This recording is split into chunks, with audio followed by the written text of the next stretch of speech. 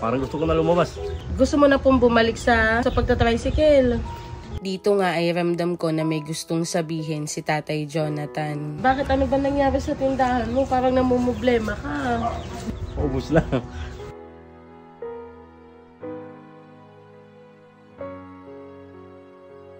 Ilan linggo nga yung lumipas at ngayon ko na lang ulit mababalikan si Tatay Jonathan. Para kumustahin na din siya at may paabot ulit ang tulong na galing sa ating mga kababayan. Sa mga ngiti at sigla na isinalubong sa akin ni Tatay Jonathan, mas napatunayan ko na malakas at okay na talaga siya. Kaya wala na po tayong dapat ipangamba o ipag-alala pa. Dahil successful nga ang operation ni Tatay Jonathan at balik normal na din siya. Wala na pa ako na nga. Wala. Ha? Ubus na. Parang gusto ko na lumabas. Bakit? Eh, kailangan mo muna magpahinga. Wala lang kung budget. Wala nang budget. Mm. Gusto mo na pong bumalik sa pagta-tricycle.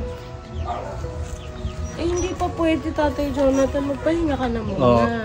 Bakit ano ba nangyari sa tindahan mo? Parang namumblema ka. Wala na, paubos na. Walang puhunan.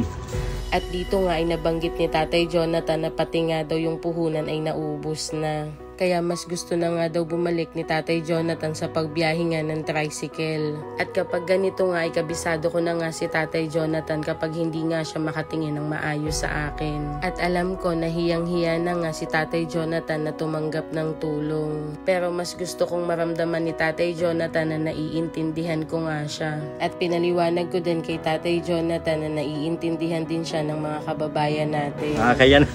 Ha? Nakakaya. Tatay Jonathan. Pumunta nga po ako dito kasi nga po, may nagpapaabot po ulit sa inyo ng tulong. Marami naman salamat dahil nagsasawa sa akin tumulong. Mintras hindi pa ako naghahanap buhay. Tatay, ito po ay 6,604 pesos ha. Mm. Ayan po, 6,600.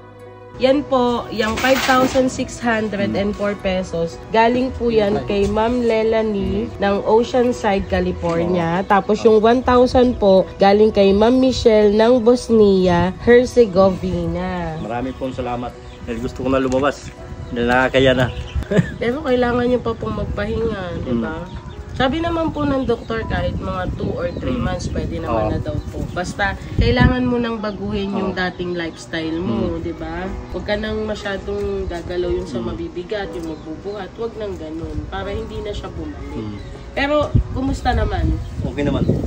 Okay na. Dahil Sinut ko na ito. Yung binigay mo. Opo. Natuwa nga ako dito nung sinabi ni Tatay Jonathan na ginagamit niya na nga daw yung binigay ko sa kanya. At sobrang ang pasasalamat ni Tatay Jonathan na may natanggap na naman daw siyang blessing galing sa ating mga Maraming kababayan. pong salamat.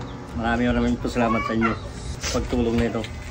At isa nga lang ang sigurado ako. Alam kong hindi abusado si Tatay Jonathan sa lahat ng tulong na natatanggap niya. At yung tungkol naman nga sa tindahan niya, nabanggit nga ni Tatay Jonathan habang nag-uusap kami na sobrang nahihiya nga daw siya dahil hindi niya nga daw napalago yung tindahan na ibinigay sa kanya. Pero maayos ko rin namang ipinaliwanag kay Tatay Jonathan na ganun talaga. Dahil wala naman siyang ibang inaasahan o pinagkukuhanan kaya ganun talaga ang mangyayari. Lalo na at alam naman natin na maliit lang naman talaga ang tinutubo ng tindahan. Kaya sabi ko kay Tatay Jonathan ay hayaan na kahit papaano ay meron pa naman. At isa pa sa sinabi ko kay Tatay Jonathan na hindi niya kailangan magpaliwanag o mahiya dahil wala siyang kasalanan at sobrang naiintindihan ko kung ano nga yung sitwasyon niya. Kaya hinihingi ko po ang inyong malawak na pangunawa para kay Tatay Jonathan. Muli po ay maraming maraming salamat po sa inyong lahat.